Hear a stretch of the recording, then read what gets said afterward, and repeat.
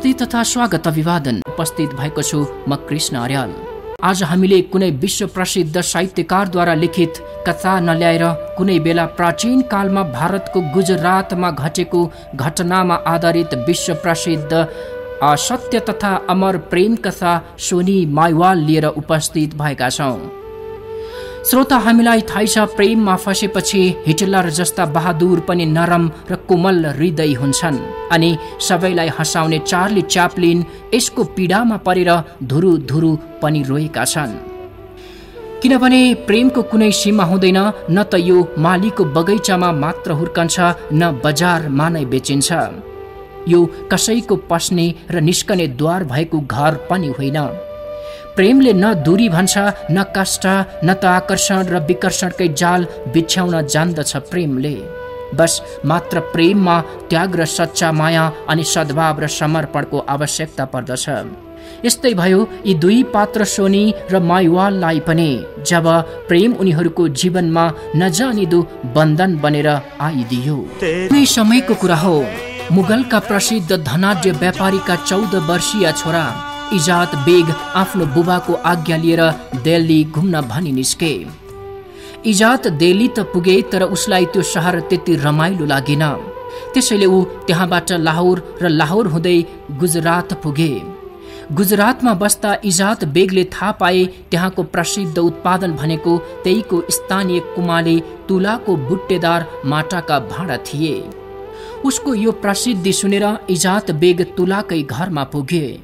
जब इजात उसको घरमा पुगे उसले आफ्नो होस गुमाए। तैपनि आँट गरेर भने तपाईँको उत्पादनमा सबभन्दा राम्रो चिज कुन हो त्यो मलाई दिनुहोस् इजात बेगको इच्छा सुनिसकेपछि तुलाले आफ्नो बेफुर्सत जनाउँदै छोरी सोनीलाई भने सोनी यी ग्राहकलाई यिनको मनपर्दो भाँडो खोजेर देऊ त। हस् बाबा। भन्दै सोनीले पनि धेरै बेर लगाएर भित्र भित्रै का शुद्ध भाँडा खोजेर निकाल्दै इजातलाई देखाउँदै गरिन्। तर उसले कुनै पनि सामान नहेरिकन सोनीलाई नै हेर्दथ्यो र टाउको हल्लाउँदै भन्दथ्यो अह कुनै राम्रा छैनन्। त्यसरी धेरै आकार र प्रकारका भाँडाहरू देखाउँदा पनि त्यो ग्राहकले कुनै एउटा पनि नछानेपछि सबै चिजहरू एकै ठाउँमा जम्मा गर्दै सोनीले भनिन्। ए यो तपाईँको के चाला हो? मैले यति धेरै बुट्टेदार भाँडाहरू देखाइसकेँ तर तपाईँले त कुनै एक पनि छान्नु भएन। सायद तपाईँले खोजेको सामान यहाँ हामीसँग छैन होला। अन्य कतै गएर किन्नुहोस्। त्यसपछि मात्र इजाद झस्के र सोनीसँग केही भाँडाहरू किने र त्यसै गरी सोनीको मन जित्नका लागि उसले एउटा नयाँ विचार गरे। ताकि उनको व्यापार पनि राम्रो हुन्थ्यो अनि इजातले सधैँ जसो सोनीलाई भेट्न सक्थे। सोही विचार बमोजिम उसले सोनीको घरबाट महँगा महँगोमा सामान किन्ने र बजारमा लगेर सस्तोमा बेच्ने गर्न थाले। खल्तीको पैसा सकिएपछि उसले बाबुको नाममा बैङ्कबाट पैसा पनि झिके। तर एक दिन यस्तो आयो कि इजात बेखर्ची बने तैपनि उसले सोनीको सहर गुजरात छोडेर घर जाने निर्णय भने लिन सकेनन्। आफ्नो साथमा आएका सहयात्री र सहयोगीहरूलाई पठाइदिए र आफू भने जति दुःख, कष्ट सहनु परे पनि सोनीको प्यारका लागि तयार रहिरहे गुजरातमै बसिरहे।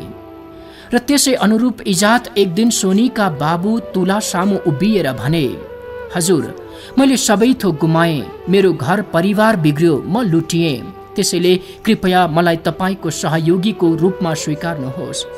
हुन त ती कुमालेलाई कुनै सहयोगी या नोकरको आवश्यकता थिएन तैपनि लक्का जवान केटाले केही न केही मात्रामा व्यापार बढाउन सहयोग गर्ला कि भन्ने सोचेर तुलाले इजात बेगलाई नोक्करको रूपमा राखे। उता इजात भने सोनीको प्यारमा पागल भइसकेको थियो। यसरी इजात बेग सोनीको प्यारमा पागल भएको कुरा। न त तुलालाई थाहा थियो न त सोनीलाई नै थाहा थियो। त्यहाँ इजातलाई पोखरीको माटो खन्ने र गाई भैँसीको रेखदेख गर्ने र चराउन लैजाने काम दिइएको थियो। पन्जाबमा गाई भैँसीको रेखदेख गर्ने व्यक्तिलाई माही वाल भनिन्थ्यो। त्यसैले बेगको नाम पनि इजात बेगबाट माहिवाल हुन पुग्यो। त्यसै दिनदेखि नै माइवालले कुमाले तुलाका गाई भैँसी चराउनका लागि धेरै परको चेनाव नदीको किनारसम्म लैजान्थे र साँझ पख फर्कन्थे अनि उही हो कुनै बहानामा सुटुक्क सोनीलाई आफ्नो कोमल नयनमा लुकाउने प्रयास गर्दथे। एक साँझ जब हतार हतार गर्दै गाई भैँसी ल्याएर गोठमा नबाँधिकन माइवाल सोनी सामु पुगे र एकहोरो टोलाउन थाल्यो। सोनीलाई उसको व्यवहारप्रति शङ्का लाग्यो। यसै गरी एक दुई दिन मात्र होइन हरेक दिन जसो नै माहिवालले त्यसै गर्न थाले। त्यसैले सोनीलाई पनि उसको मन बुझ्ने इच्छा लाग्यो। एक साँझ उसले गाई भैँसी गोठमा बाँधिसकेपछि उसलाई बोलाइन् र एकान्तमा लगेर वास्तविकता सोधिन्। भन् माइवाल तिमीले किन त्यस्तो व्यवहार देखाउँदैछौ? उसले पनि कैयौं दिनपछि मौका पायो र आफ्ना सारा भावहरू उनी सामु बिसायो। यति बेला माइवाल झुत्रे लुगामा नाङ्गो खुट्टाले उभिएको थियो। तैपनि सोनीलाई सामु पाएर घर परिवार सारा सम्पत्ति अनि सुख शैल बिर्सेको थियो। बिस्तारै टाउको सोनीतिर घुमायो र उनको सामु घुँडा टेकेर थच्च बस्दै भन्यो सोनी म तिमीलाई प्रेम गर्छु मलाई आफ्नो ठानिदेऊ अब म तिमी बिना बाँच्न सक्दिन। यसरी आफ्नो प्यारमा सारा संसार त्यागेको एक युवकलाई देखेर सोनीको मन पग्ल्यो र उसमा जस्तै अनौठो भावको सृजना भयो सोनीमा पनि। त्यस पलदेखि सोनीले पनि माहिवाललाई नजानिदो पाराले माया गर्न थालिन्। ती दुई बीचमा नयाँ साइनोको सृजना भयो। दुवैको मन र मुटुमा नयाँ प्रेमको दीप जल्न थाल्यो।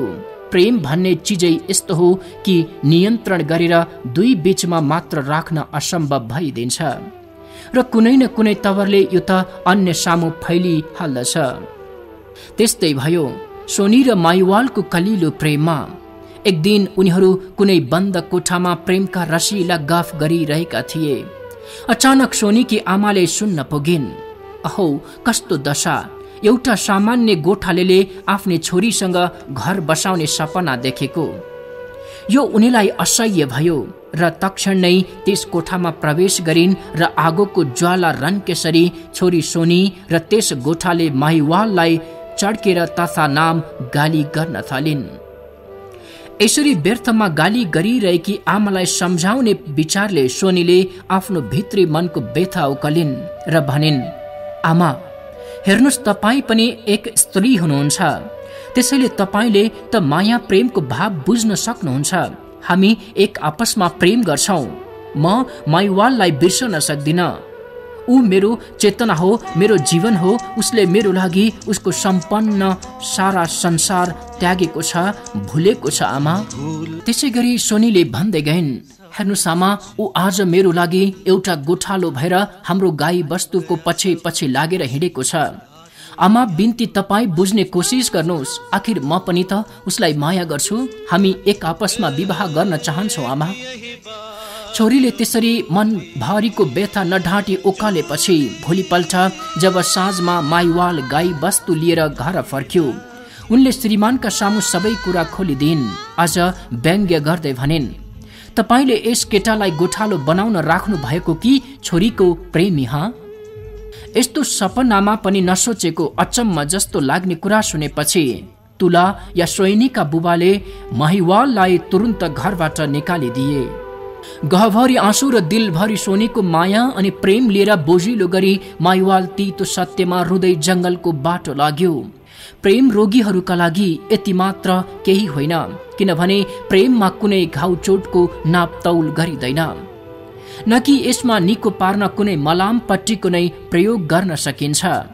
भाषाविहीन प्रेममा प्रयोग गरिने बिछोडका हर शब्दहरू ओकल्दै पागलपनमा माइवाल जङ्गलै जङ्गल। एकहोरो हे मेरी सोनी मेरी प्राण म तिम्रो लागि शाहबाट माइवाल भएँ तर आज मेरो यो अवस्था आयो।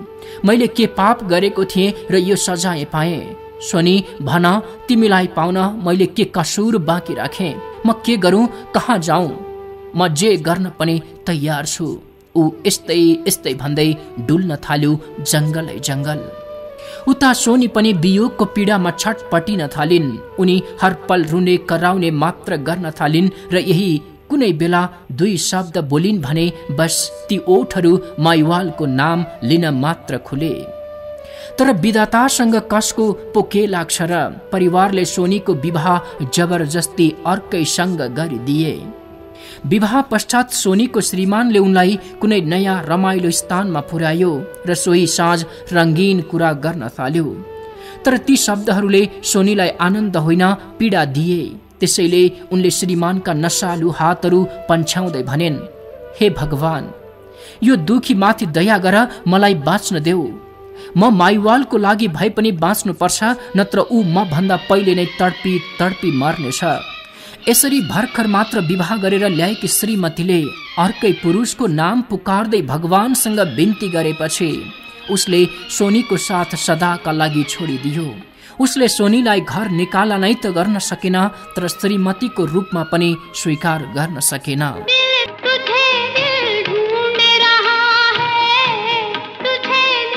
त्यसपछि यता सोनी माइवालकै सम्झनामा व्याकुल बनिरहन् भने उता माइवाल जङ्गलै जङ्गल भौतारिँदै हिँड्न थाल्यो।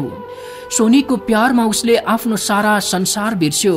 एक दिन जङ्गलको बाटो हुँदै घरतिर आउँदै गरेकी सोनीकी साथीले माइवाललाई पागलसरी हिँडिरहेकी देखिन् र सोनीलाई चिठी लेख्न आग्रह गरिन्। माइवालले सोनीलाई सम्बोधन गरेर आफ्नो रगतले यस्तो चिठी लेख्यो। प्यारी सोनी हुन त तिमीलाई चिठी लेख्ने मेरो कुनै अधिकार छैन। तैपनि पागल यो मन किन किन हरपल तिम्रै छाया बनी भौतारिरहेको छ।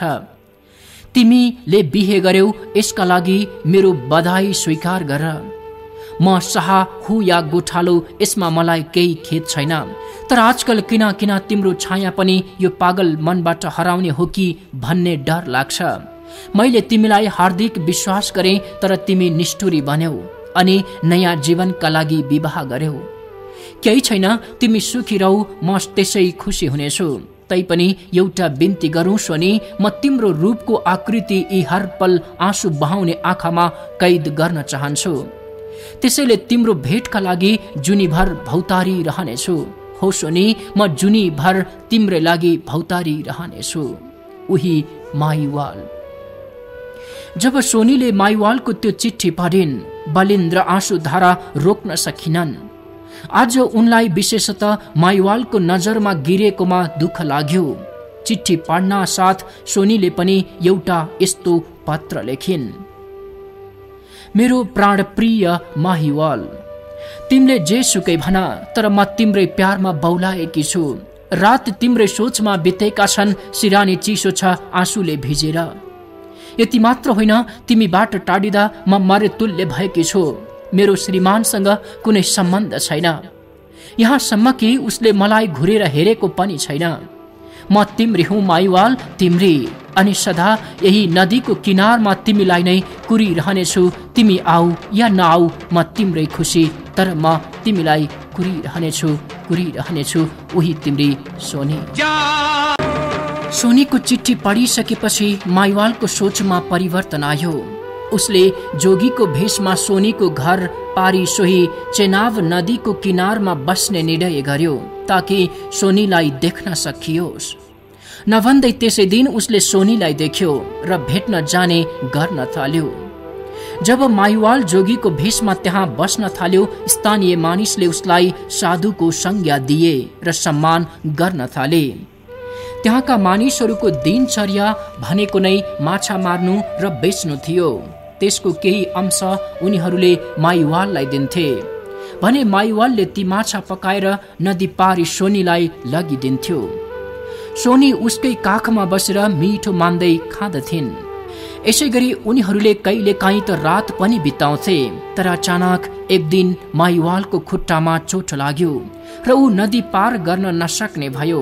त्यसैले सोनीले उसलाई आफै नदी पार गरेर भेट्न आउने जनाउँदै आराम गर्न आग्रह गरिन्। र एउटा ठुलो माटोको भाँडाको सहाराले नदी पार गर्ने र वारी फर्किसकेपछि त्यो भाँडो त्यही झाडीमा लुकाउने गर्न थालिन्। त्यसै गरी सोनीले हरेक साँझ नदी पार गर्ने र घाइते माइवालको घाउमा औषधि लगाइदिने गर्दथिन्। तर दैवको खेल यो क्रम त्यति लामो समयसम्म चल्न सकेन। एक दिन सोनीकी भाउजूले देखिन् र त्यस ठुलो भाँडोको सट्टा उनले झाडीमा अर्कै उस्तै तर काँचो माटोको भाँडो लगेर राखिदिन्। साँझ पख जब सोनी झाडीमा पुगेर त्यो भाँडो झिकिन् उनलाई शङ्का त लाग्यो तर माइवालको घाउ कस्तो भयो होला भन्ने कौतूहलताले उनलाई नदी पार नगरी सुखाइदिएन र सोचिन् मरे भने पनि उसकै खातिर मरौला के भो र? र उनी सोही काँचो माटोको भाँडोको सहाराले खोलामा त तर केही बेरमै त्यो काँचो माटोको भाँडो पग्लियो। र सोनी खोलाको हिंसक छालसँगै घरि तल घरि माथि गर्दै उत्रँदै र डुब्दै भगिन् बस टिच्याउँदै र गुहार माग्दै।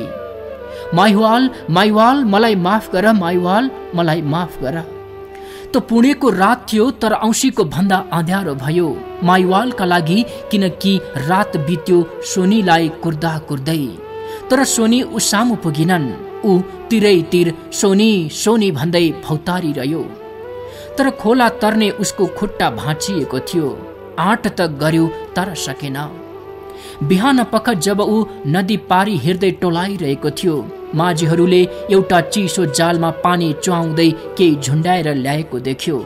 जब उनीहरूले त्यो जाल बिसाए शिर निहुराएर माइवालले देख्यो।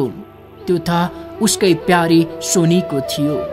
उसले उनको मृत मृत शरीरमा हजार पटक चुम्यो डाको छोडेर रोयो छाती पिट्यो वियोगमा अनि सराप्यो निष्ठुरी दैवलाई जब केही बेरमै ऊ थाक्यो ऊ सोनीकै लासमाथि टाउको राखेर बेहोस भयो।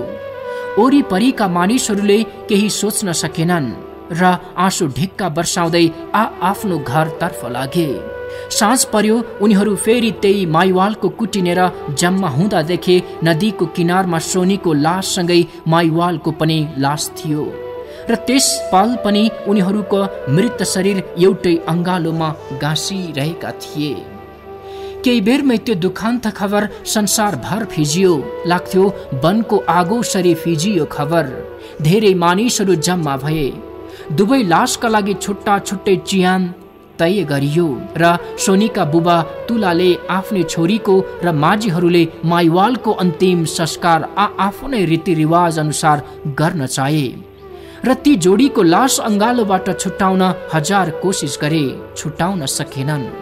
मृत्यु पछि पनि कसिलो अङ्गालोमा गाँसिरह्यो सोनी र माइवालको जोडी। त्यसैले एउटै चिहानमा पुरियो दुवै लासहरू। चारैतिरबाट फुल वर्षा भयो। मायाको एउटा दियो त निभ्यो तर हजार दियालाहरू बल्ने देखियो। सबै कठोर मनहरू बदलिए प्रेममा त्यागको उदाहरण देखियो र प्रेमको इतिहासमा त्यो सोनी माइवालको जोडी ठुला ठुला अक्षरमा लेखियो। हवस् त आजको कथा सोनी माइवालको यस श्रृङ्खलालाई यहीँ बिट मार्दछौँ र अर्को हप्ता अवश्य भेट हुनेछौँ। तबसम्मको लागि नमस्ते। यहाँहरूका हरेक पल हाँसी खुसी बितुन्।